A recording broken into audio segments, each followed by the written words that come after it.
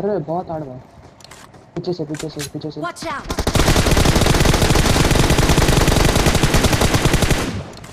अरे गॉड मार दिया अब तो